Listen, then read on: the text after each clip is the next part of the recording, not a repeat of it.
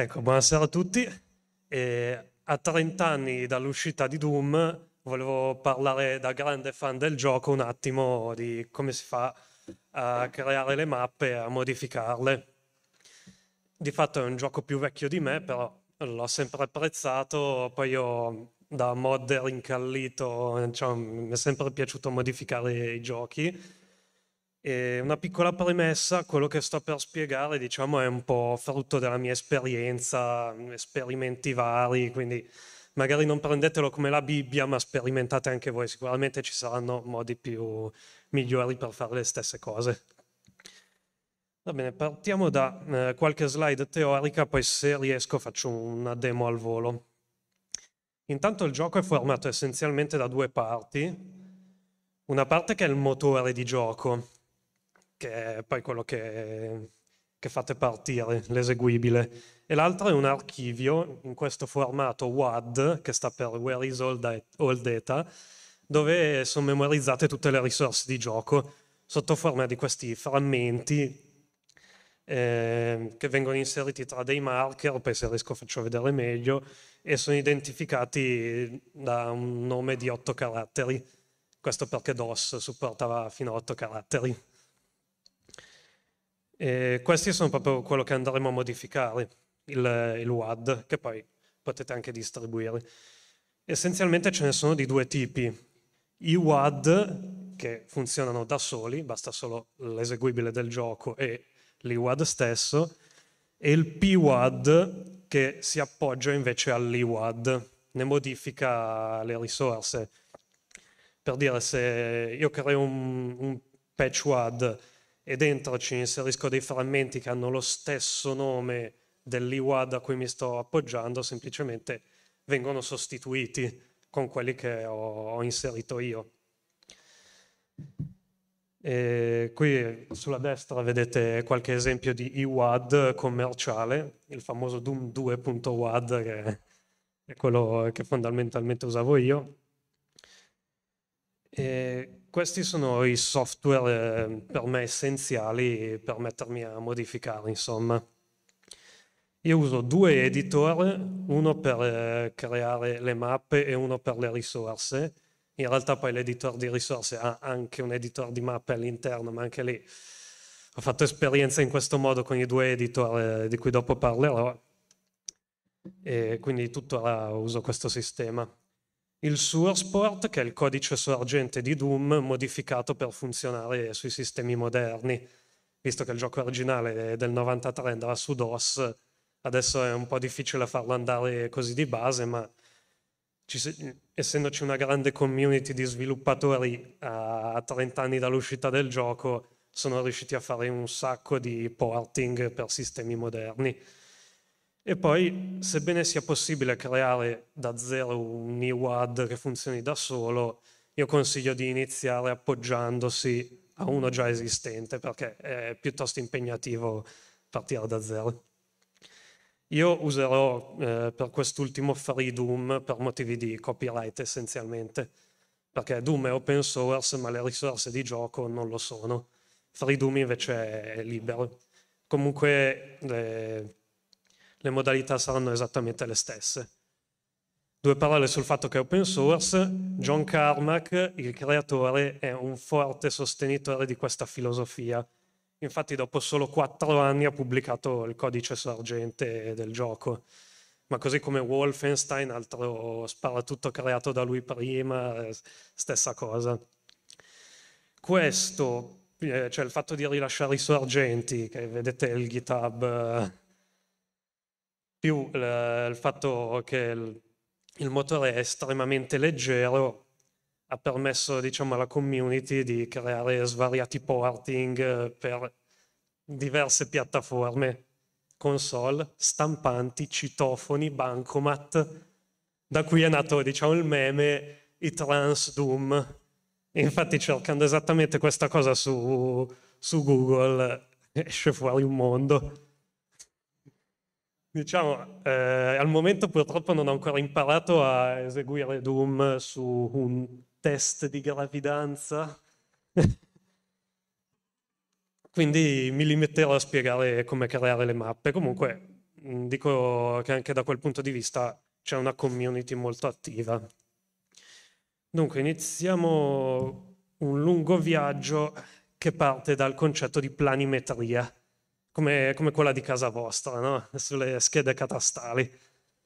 Io adesso ho disegnato un semplice quadrato, una stanza divisa in quattro, e evidenzierò i vari elementi in modo che poi sapremo di cosa stiamo parlando.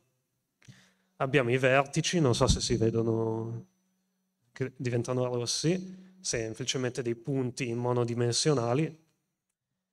Abbiamo le line defs, che sono delimitate dai vertici, sono delle linee, contengono informazioni sulle texture, possono triggerare degli eventi, poi vi farò vedere un attimo come. Se notate hanno una linetta esattamente a metà e quella linetta, non so se si vede bene, dopo si vedrà meglio, rappresenta la parte frontale. Questo vi aiuterà a capire dove mettere le texture. Poi ci sono i settori che sono mm, delle porzioni di mappa delimitate dalle line defs. Non sono per forza stanze, come vedrete tra un attimo, e possono avere degli specials, cioè per esempio fare danno al giocatore quando ci passa o avere degli effetti di luce particolari. E poi ci sono gli oggetti, sprite, mostri, armi, chiavi, decorazioni. Questo qua che vedete è per esempio lo spawn del, dove inizia il giocatore. Avete davanti un terrapiattista anche se Doom è di fatto 3D, il, le mappe non lo sono, sono piatte. Ecco perché parlavo di planimetria. Si parte proprio da una mappa piatta. Cosa succede? Che ogni settore contiene tra le sue proprietà le, l'altezza del pavimento e l'altezza del soffitto. E basandosi su questo, poi il motore grafico riesce a tirare fuori il 3D tutto questo sempre per eh, mantenere il tutto leggero ed eseguibile dall'hardware dell'epoca. Chiaramente nessuno aveva l'RTX di adesso, si faceva quello che si poteva. Questo purtroppo ha degli svantaggi, alcune cose che magari qualcuno l'avrà notato non si possono assolutamente fare. Mettere un settore sopra un altro, quindi non posso per esempio disegnare un tavolo come quello che avete di fianco, ma devo fare un, un oggetto solido. La parte sotto non ci può essere, perché se in un punto c'è già un settore, non ne posso mettere un altro sopra, andrebbe in conflitto. Non posso disegnare delle rampe lineari, non posso mirare liberamente, non posso saltare. Tutto questo è stato, diciamo, risolto dai moderni porting, eh, chiaramente hardware moderno, codice più moderno, e adesso vi faccio vedere una dimostrazione del fatto che la mappa parte in 2D e alla fine diventa in 3D. Questa è esattamente la mappa di prima. Prima non si vedeva il 3D, adesso si vede. E I formati della mappa che si possono creare sono essenzialmente questi due. Quello originale del 93, che è un formato binario ed è compatibile con, eh, okay, con Doom Vanilla, cioè la versione originale per DOS, e tutti i moderni porting. Le funzionalità sono limitate, quindi per dire non ci sono c'è un numero massimo di settori che posso allocare, un numero massimo di oggetti, poi dopo il gioco crashava. E anche se non succede eh, con i porting di adesso, diciamo, uno magari vuole creare un, una propria mod che sia compatibile col gioco originale. Poi è stato definito il formato UDMF che sta per Universal Doom Map Format, che invece di essere binario è testuale ed è stato creato con l'idea dell'espandibilità. Ci sono funzionalità moderne tipo scripting, telecamere, attori, quindi uno può creare delle scenette nel gioco. I polyobj, che sono fondamentalmente le pareti che si muovono, che nel gioco originale non c'erano, al massimo i pavimenti si muovevano. E incredibilmente si possono creare settori sovrapposti. palazzi, tavoli e quant'altro. E il mio consiglio è di iniziare col formato originale perché è molto più semplice, poi una volta masterato quello si può passare al UDMF se si vuole, ma non è obbligatorio. Lascio qualche link utile, e questi sono i software che uso io, Ultimate Doom Builder per modificare le mappe, Slade 3 per le risorse e come porting uso Zandronum poi anche lì c'è una miriade di cose che si possono utilizzare. Ho linkato anche la wiki dove tutti questi concetti si trovano e il forum eh, con tutta la community di smanettoni. Ho messo anche il GitHub del, di Doom, creato proprio da John Carmack. Adesso faccio un attimo un, avvio un attimo il software per, eh, per modificare le mappe perché non si vede. Scusate un attimo. Duplica. Ok, ora si vede. Eh, questo qua. Allora, diciamo all'inizio si presenta come una specie di CAD dove andremo a disegnare la planimetria. Adesso io imposto il formato Doom originale do un nome alla mappa e aggiungo il mio IWAD a cui mi voglio appoggiare, che è quello di Freedom, come dicevo prima. Adesso lo vado a pescare qua. Prendiamo questo. E ok. Questa è la mappa vuota. Abbiamo varie modalità di disegno, disegnare linee, archi, direttamente i settori e modalità di selezione, se voglio selezionare dei vertici, delle line defs, dei settori o degli oggetti. Partiamo col disegnare una stanza base. Vado a selezionare draw line, clicco e come vedete traccio delle linee. Ecco qua che mi ha creato una stanza base con Q posso già vederla e con, eh, con ESDF non chiedetemi perché non è WASD, mi posso muovere all'interno della stanza. Adesso aggiungo il, il, punto di inizio del giocatore, ho selezionato la modalità Things e col tasto destro mi apre questa finestra e scelgo Player 1 Start gli posso dire l'angolo dove, dove iniziare e qua posso aggiungere anche mostri, chiavi, armi, tutto quanto.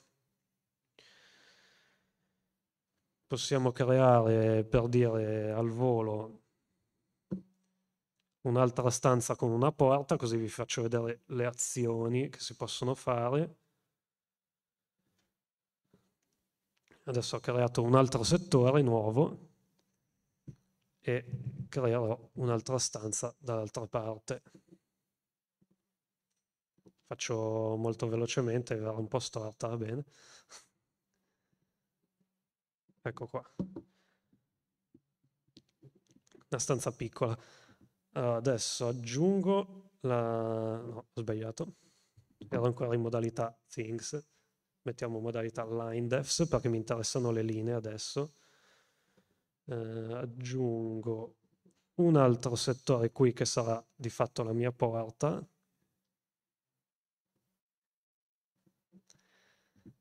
E adesso vi faccio vedere che selezionandola e tirandola giù mi dice che manca la texture. Aggiungiamo la texture. Con tasto destro mi dice già quale manca. Come vedete c'è sia front side sia back side, queste sono le famose side defs. Abbiamo, ne abbiamo tre per ognuna. La upper è quella sopra il soffitto, che infatti è quella che ci dice che manca. La middle è quella a metà e la lower è sotto il pavimento. Adesso aggiungo, seleziono per esempio Big Door, faccio la stessa cosa dall'altra parte, seleziono Big Door, E adesso gli... ecco c'è un piccolo problema, cioè che se la muovo, come vedete si muove anche la texture del, qui a lato. Non è una bella cosa da vedere, quindi adesso lo risolvo subito selezionandola col tasto destro e seleziono eh, Lower Unpegged. Faccio la stessa cosa dall'altra parte, Lower Unpegged, e adesso non si muove più. Perfetto. Tiro giù questo, chiudo la, chiudo la mia porta e adesso imposto le azioni. Allora, intanto queste due, queste due line defs sono al contrario, le seleziono e premo F in modo che la lineetta sia verso l'esterno. Poi faccio tasto destro, qua dove c'è Action posso scegliere le azioni. Qui c'è tutta la leggenda, cioè tipo walkover se il player ci cammina, o gunfire se il player spara contro, switch, door. Scegliamo door. Facciamo door, open, wait, close. Cioè si apre, aspetta un certo ritardo predefinito e si chiude. Qui ho messo, questo tag identifica quale settore si dovrà aprire o chiudere. 0 significa quello dietro la, la line def. Posso anche per dire impostarlo a 1, basta che poi questo settore qua che voglio che si apra gli dia lo stesso tag 1 e lui mi fa vedere adesso che l'ha collegato. Adesso provo un attimo a eseguirla, vediamo se funziona tutto. Ecco, mi dice che non ho configurato il source port, cioè mi dice che io come, come la faccio partire questa mappa. Io lo dico adesso. Semplicemente vado a prendere Zandronum che ho sul desktop. Questo. E dovrei poterla già eseguire. Mi fa già partire da, dalla mappa giusta ed ecco che la porta si apre. Aggiungiamo, aggiungiamo qualche mostro? Ma sì dai, aggiungiamo qualche mostro, se abbiamo tempo. Andiamo in Things Mode, sempre tasto destro per aggiungere, Monsters, eh, mettiamo questo coso orribile E adesso vedremo che c'è il mostro. Poi per ogni things che aggiungete potete anche impostare il livello di difficoltà a cui c'è o non c'è. Eccolo qua, è una specie di sanguisuga. L'ultima cosa che se faccio in tempo vi faccio vedere è come aggiungere contenuti al gioco o al, al WAD invece di usare solo quelli che ci sono già. Intanto lo salvo per adesso sul desktop. Ah, io voglio aggiungere eh, questa immagine qua. Una, esatto, una a caso. Allora, uso l'altro editor che ho consigliato, che è Slade, che mi permette di aprire proprio l'archivio. Questo è quello che ho appena creato, lo, lo apro. Si vede già che c'è la mia mappa all'interno con tutti i vari lamp che, che descrivono la mappa che ho creato prima. Adesso aggiungo, faccio tasto destro, new entry. Come dicevo, i lamp sono delimitati da dei marker che hanno nomi precisi. Io adesso voglio aggiungere l'immagine come texture e quindi la devo racchiudere tra i marker tx start e tx end. Poi tutte queste informazioni si trovano sulla wiki. Quindi aggiungo tx start eh, aggiungo la... questo qua, me l'ha già rinominato come con gli otto caratteri e poi aggiungo la new entry tx end.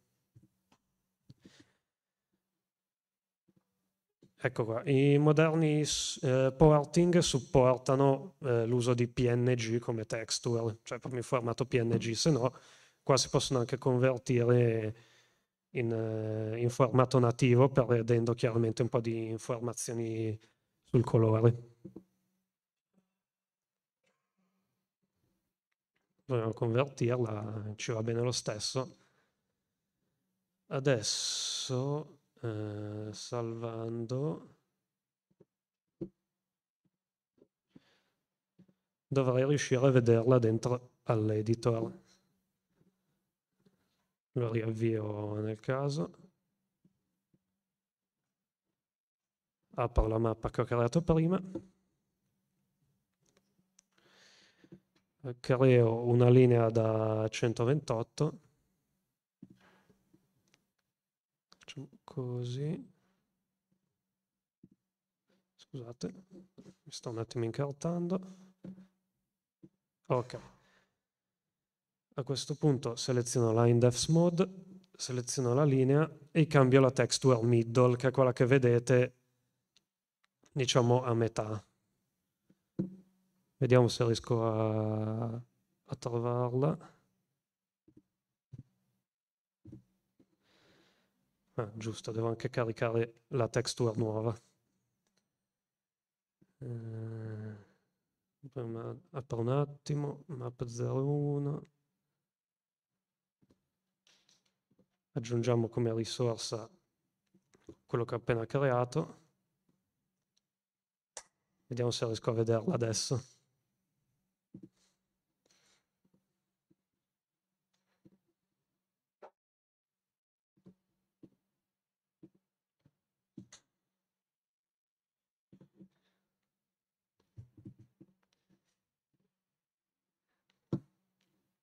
Andiamo in all.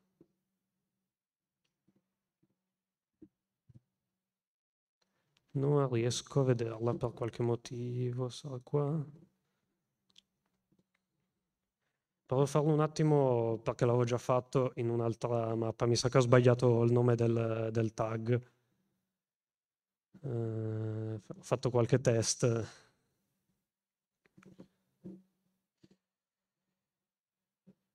Questa è in UDMF, probabilmente il TX start e TX end è fatto apposta per UDMF. Per il formato originale c'è un altro nome.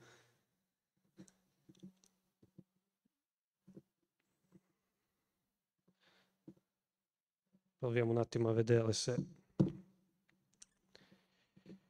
faccio, faccio la stessa cosa di prima. Lo apro con Slade. Test. Raga, sì, l'avevo già aggiunta, eccola qua. Allora adesso vediamo se mi tradisce di nuovo. Eccola qua, ce l'abbiamo.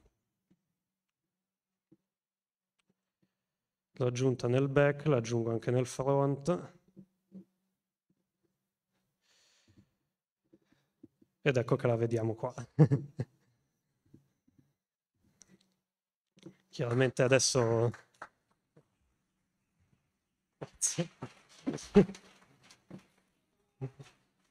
Ed ecco Esk in Doom. Adesso è passabile, eh, non clippata, cioè io ci posso passare attraverso, posso anche impostare che eh, non ci posso passare attraverso. Ogni linea ha le sue proprietà impostabili. In Properties faccio eh, Impassable, semplicemente. Ecco che è diventata bianca, solida, esattamente come i muri e quelli esterni e adesso non ci potrò più passare attraverso.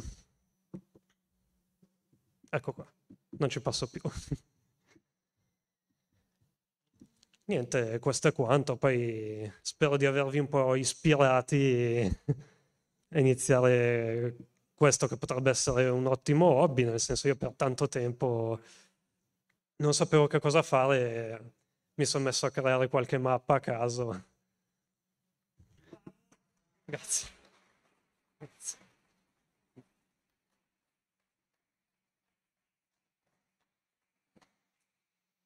Ecco, vi faccio vedere al volo una roba che ho fatto prima di venire qua. Una specie di tempio satanico con una fontana di sangue.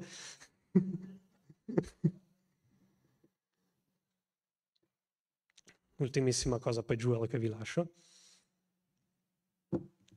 Ho aggiunto un paio di nemici, base, un passaggio segreto qua, che mi fa prendere il fucile. Ecco, guarda come spacco i culi. Questo è quanto. Doom è spaccare i culi. Brutal Doom è una mod creata da dei pazzi, è ancora più spaccare i culi. Hanno aggiunto diversi effetti di sangue, violenza estrema. Grezzo 2, non so chi di voi lo conosce, lì andiamo proprio a livelli... Gli strumenti sono gli stessi con cui hanno creato Grezzo 2, sono questi. Scusa, sì. sai senz'altro che mi pare o quest'anno o l'anno scorso è stato trovato l'ultimo segreto di Doom. Hai presente? Che i livelli no. si possono finire al 100%? Non mi sono documentato sulla cosa, dimmi un po'. Vabbè, eh, niente di che, c'era questo uh, segreto che non era ancora... Nessuno aveva mai completato completamente Doom al 100% perché bisognava spingere per attivare l'ultimo segreto ah. Un mostro all'interno di un teletrasporto e sarebbe stato il mostro ad attivare il segreto. Però Vabbè, ma non, questo... Eh, non sapevo, interessante comunque. Mm, dopo cerca su Google, ma io mi sì, chiedevo, sì, e qua ecco che arriva la domanda, ma i segreti non sono scritti su, sulle mappe, sui VAD? Allora, i segreti sono dei settori speciali, come dicevo prima, ci sono degli special che si possono assegnare ai settori e praticamente vengono nascosti nella, nella mappa all'interno del gioco finché non li trovi. Adesso proviamo un attimo ad aprire questo, questa demo di prima. Seleziono questo settore e nello special qua sotto posso dirgli secret. Questi sono tutti gli special che ci sono, vedete ci sono i danni al giocatore e dei diversi effetti di luce. Ok, che è il codice numero 9. Se io provo adesso ad eseguirlo, in teoria, se non mi tradisce di nuovo, do... che spavento! non dovrei vederlo di nuovo. Non mi ricordavo di aver aggiunto questo. Ok. Non dovrei, non riesco ad aprire la mappa. Ecco, se io vado qua mi dice secret is revealed perché vuol dire che ho trovato un segreto. Per qualche motivo non mi fa aprire la mappa, forse sono i comandi. Comunque, di base non lo vedete nella mappa all'interno del gioco finché non, eh, non ci andate.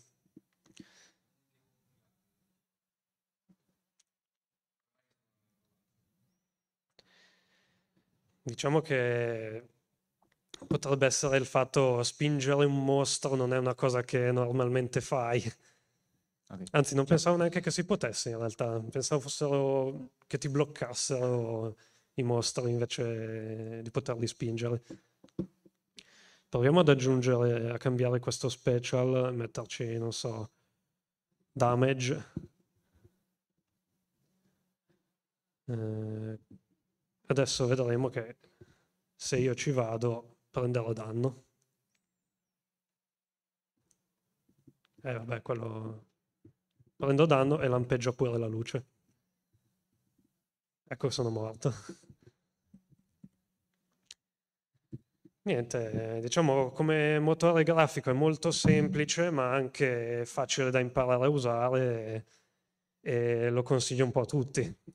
Anche perché poi, voglio ammettere, moddare il gioco della propria infanzia dà una certa soddisfazione. si può fare. E poi ci combattiamo tutti a vicenda all'interno, facciamo la LAN party.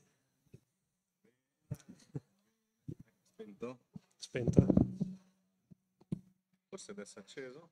No, mi sa che è spento adesso. Ho spento adesso. Ah, adesso è acceso.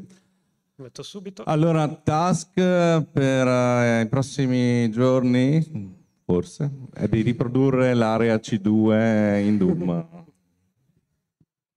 Beh, allora, comunque, grazie mille ad Alessandro Zio Frank, new entry dell'ERP di quest'anno. Un grande applauso per lui. Grazie, grazie.